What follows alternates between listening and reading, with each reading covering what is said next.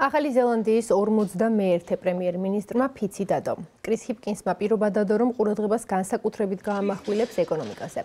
ახალ პრემიერ-მინისტრს 9 თვე ექნება საპარლამენტო არჩევნებამდე. საზოგადოებრივი აზრის გამოგითხვის შედეგებმა კი აჩვენა, რომ მისი ლეიბორისტული პარტია ჩამორჩება კონსერვატიულ ოპოზიციას. ახალი პრემიერ-მინისტრის დანიშნა ჯასინდა არდერნის მოულოდნელ გადაწყვეტილებას მოყვა გადადგომის თაობაზე. ყოფილმა პრემიერ-მინისტრმა განაცხადა, რომ მას აღარ აქვს ძალა ამ თანამდებობაზე მუშაობა გააგრძელოს.